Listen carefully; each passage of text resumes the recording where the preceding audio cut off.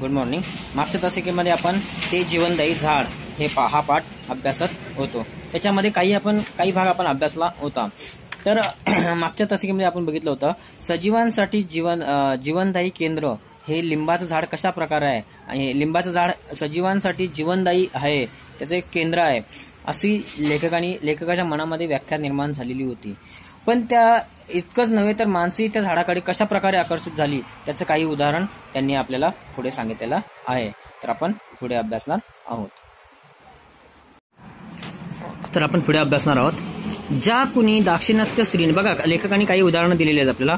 तर बघा ज्या कुण्या द्राक्षी दाक्षिणात्य स्त्रीनं हे लिंबाचं झाड राहत्या घराच्या मागं केवळ भाडेकरू असताना लावलं होतं. म्हणजे हे जे झाड होतं हे झाड कुणी लावलं होतं? तर लेखकाने लावलं होतं का? तर नाही. तर लेखकाच्या बाजूला असलेले भाडेकरू त्या भाडेकरूंनी हे तिथे राहत असताना त्यांच्या घराच्या मागं ते लावलेलं होतं. तिनं त्या झाडाला कुंपण घातलं नव्हतं. तिनं आणि त्या झाडा त्या बाईने त्या बाईने जे लावलं होतं झाड त्या बाईने त्या झाडाला कुंपण घातलं नव्हतं. म्हणजे कंपाऊंड केलेलं नव्हतं. मुक्त मोकळं झाड तिनं जणू कडूपणाच्या आणि कंजूशीच्या मर्यादा घातलेल्या नव्हत्या. आणि हे जे झाड लावलं होतं तिने काय केलं होतं? तर त्याला मर्यादा लिमिटेशन्स घातलेल्या नव्हत्या. कडूपणाच्या किंवा कंजूशीच्या अशा मर्यादा त्याच्यासाठी नव्हत्या त्या झाडाला. आसपासचे लोक येत लिंबाची फळं मुक्तपणे घेऊन जात. आणि आजूबाजूची जी लोक होती तर ती लिंबाची फळे कोणी पण यायचं आणि कोणाला फळ लागलं लिंबाचं फळ लागलं तर ते लिंबू लिंबू काढून घेऊन जात असत. फळं कधी कमी पडली नाहीत. फळांनी लगडलेलं हे झाड दृष्ट लागण्यासारखं. आणि त्याच्यामुळेच हे या झाडाला कधीही फळं कमी पडलेली नव्हती. फळांनी लगडलेलं ते झाड दृष्ट लागण्यासारखंच होतं. आणि ते झाड कसं होतं? तर दृष्ट लागण्यासारखं झाड होतं असं लेखकांनी त्या झाडाची झाडाला उपमा दिलेली आहे. समृद्धीची भावना लागवणारं आणि जीवनदायी होतं सगळ्यांसाठी. आणि म्हणूनच लेखकाला वाटतंय की ते झाड कसं होतं? तर समृद्धीची भावना जागवणारं आणि जीवनदायी हो- जीवनदायी होतं. म्हणजे सर जीवन देणारं असं ते झाड होतं. आणि ते कोणासाठी? प्राणी पक्षी यांच्यासाठीच नाही तर माणसांसाठी म्हणजे सगळ्यांसाठीच ते कसं होतं? जीवनदायी असं ते झाड होतं. म्हणजे असं की माणसं पशु पक्षी कीटक साप कुत्री आणि खारी गोगलगाई अशा सगळ्यांनाच ते आकर्षून घेत असते. बघा म्हणजे काय? आता पुढे मी सांग लेखकाने सांगितलं आपल्याला. म्हणजे असं की फक्त पशु पक्षीच नाही तर माणसं पशु पक्षी कीटक साप कुत्री आणि खारी. गोगलगाई असं सगळ्यांनाच ते आकर्षून ते झाड घेत असं. म्हणजे त्या आकर त्या झाडाचं आकर्षण सर्वांनाच होतं. भोवतालच्या काही काहिलीतलं विसाव्याचं आणि आनंदाचं जणू आदा आशीर्वादमय आश्वासन आणि जगण्याचा दिलासा. आणि आजूबाजूच्या परिसरामध्ये असलेले एक विसाव्याचं ठिकाण आणि आनंदाचं जणू आशीर्वादमय. आणि जणू काय ते झाड आपल्याला काय करतंय? तर आनंदाचं आशीर्वादच देत आहे असं आश्वासन देणारं आनंदाचा आशीर्वाद देणारं असं ते जगण्याचं आणि जगण्याचा दिलासा देणारं असं ते झाड झाडाला त्या झाडाला उपमा लेखकांनी उपमा दिलेली आहे. पुढे बघूया. इतकं महत्त्व त्या झाडाला आलेलं पाहून मी चकित होऊन गेलो होतो. आणि ले- ते जे लिंबाचं झाड होतं त्या लिंबाच्या झाडाला एवढं इतकं इतकं जास्त इतकं जास्त महत्त्व आलेलं पाहून लेखक खूप चकित झाले होते चकित होऊन गेले होते. ते ज्या घराची हकीकत मी सांगतो आहे ती एक जोड इमारत होती. आणि लेखक ज्या घराची हकीकत सांगत आहेत ती ती एक कशी होती? तर जोड इमारत मतलब जॉईंट घर होतं. आणि ट्विन ब्लॉक ट्विन ब्लॉक म्हणजे जॉईंट घर. शेजारी जे राहत होते त्यांच्या परसदारी चक्क पाण्याचा हापसा होता. बघा त्यांच्या शेजारी आता लेखकाच्या शेजारी जे राहत होते त्यांच्या परसदारी म्हणजे त्यांच्या झा- परसदार म्हणजे बगीचा घराच्या पुढे जी जागा असते त्याच्यामध्ये आपण जी झाडं लावतो त्याला परसदार म्हणतात.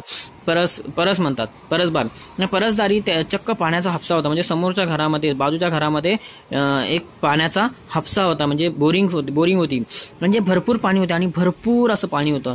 मात्र अंगणात आणि परसदारात गवताची काळी नव्हती. म्हणजे बघा त्या बाजूच्या माणसाच्या परसदारामध्ये भरपूर पाणी होतं बोरिंग होती भरपूर पाणी होतं परंतु त्यांच्या अंगणामध्ये एक गवता हिरव्या गवताची काडी सुद्धा नव्हती.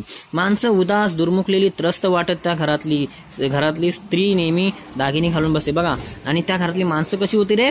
तर उदास दुर्मुखलेली म्हणजे एकदम दुःखी असलेली आणि त्रस्त म्हणजे कंटाळा कंटाळा आलेली एकदम अशी कंटाळवाणी वाटलेली अशी ती माणसं त्याच्या घरातली होती. कुठली? समोरच्या बाजूच्या घरातली ज्या जिथे ज्या ठिकाणी बोरिंग होती त्या घरातली. त्या घरातली स्त्री नेहमी दागिने घालून बसे आणि त्या घरातली जी स्त्री होती लेडीज होती ती काय करायची? नेहमी दागिने. दागिने म्हणजे ज्वेलरी. ज्वेलरी घालून बसे. परंतु पाणी आणि जमीन मुबलक असतानाही त्यांनी हिरवा आनंद पसरवण्याचा कधी प्रयत्न कधी केला नाही. आणि त्यांच्याकडे एवढं पाणी असून भरपूर पाणी असून सुद्धा त्यांनी आपल्या आपल्या जागेमध्ये कधीही हिरवा आनंद पसरवण्याचा कधीही प्रयत्न केला नाही. मला वाटतं झाड लावणं ते जगवणं त्याद्वारे दूरवर आनंदाचे आणि आश्वासनाचे संगीतमय संदेश पसरवणं आणि सर्व सजीवांचे आशीर्वाद घेणं ही एक प्रवृत्तीच असावी लागते. बघा लेखकांनी पुढे काय सांगितलंय? तर नुसतं झाड लावणं महत्वाचं नसतं.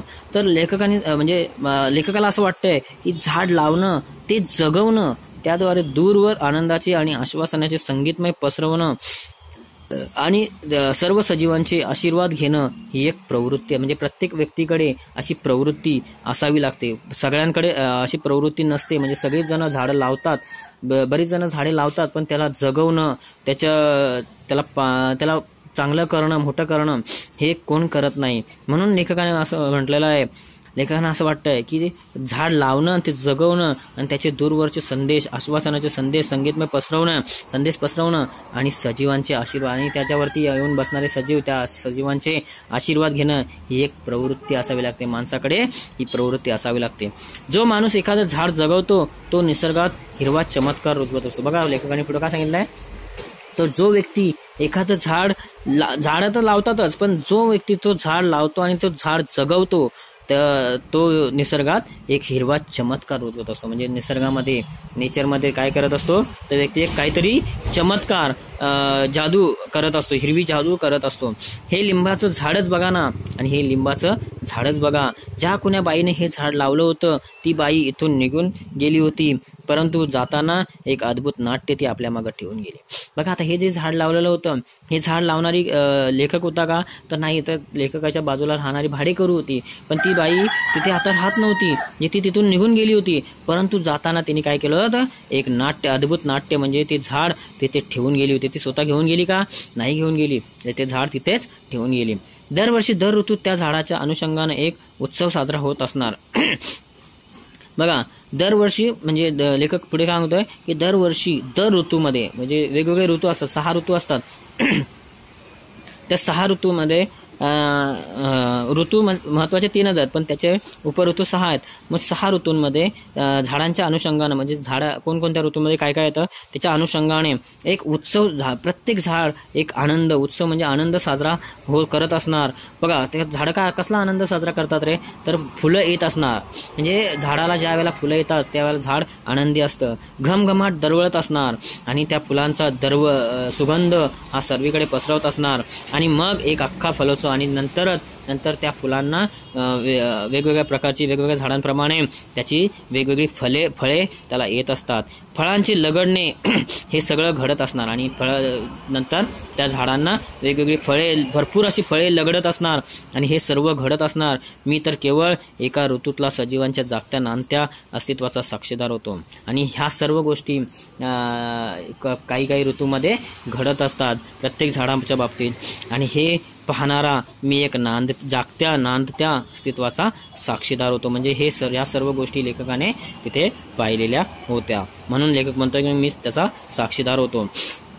पण शेजारची ती माणसं ती अनेक वर्ष त्या घरात राहत आलेली होती. परंतु शेजारची जी माणसं होती ती बऱ्याच वर्ष तिथे राहत आलेली होती. परंतु न त्यांनी ते हिरवं कौतुक पाहिलं न त्यांनी झाडं लावली.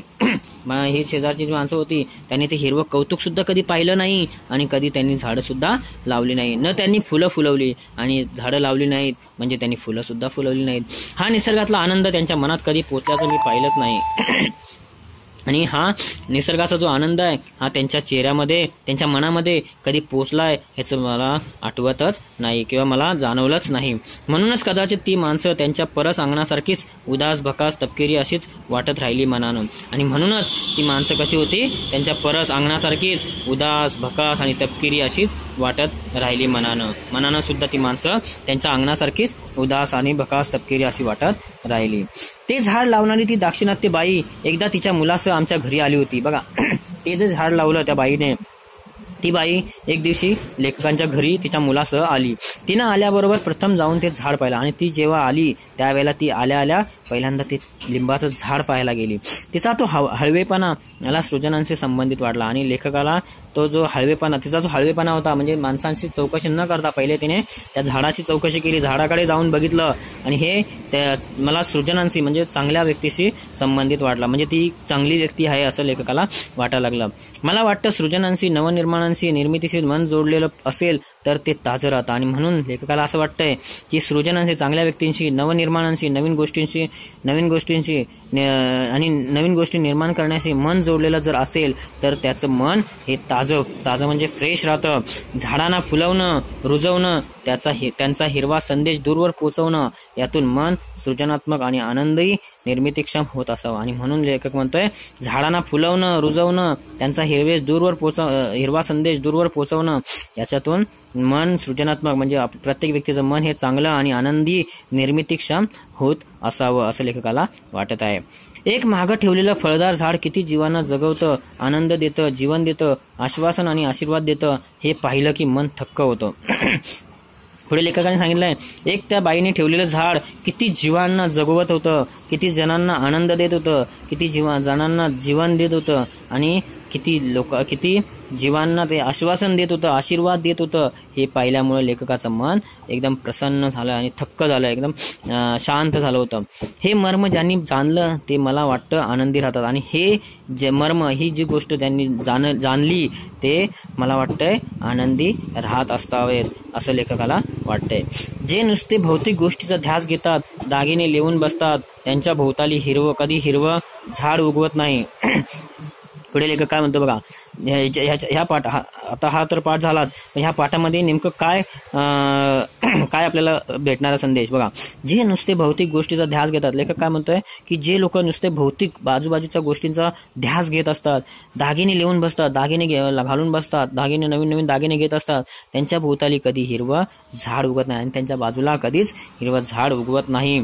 आणि त्यांच्या मनात कधी पक्षी चिवचिवत नाहीत आणि त्यांच्या मनात सुद्धा कधी पक्ष्यांची चिवचिव चिवचिव होत नाही. आनंदापासून ते बरेच बिचारे वंचित राहत असावेत. आणि म्हणूनच आणि म्हणूनच लेखक म्हणतोय की अशी लोक आनंदापासून खुशीपासून वंचित राहत असं म्हणजे दूर राहत असावेत असं लेखकाला वाटतंय. मग आता लेखकाने आपल्याला ह्या पाठामध्ये काही संदेश दिले बघा त्या जीवनदायी झाडानं आपल्या हिरव्या भाषेत मला असं बरंच काही सांगितलं आहे. आणि हे जे झाड होतं या झाडाने लेखकाला लेखकाला त्या हिरव्या भाषेमध्ये म्हणजे त्याची बा- झाडाच्या भाषेमध्ये अजून बरंच काही सांगितलेलं आहे. आणि ही लेखकाची एक कल्पना होती. फक्त म्हणजे झाड हे झाड असं असं करू शकतं असं असं जीवन देत आहे या लेखकाच्या असं मांडलेला कल्पना कल्पना आहेत.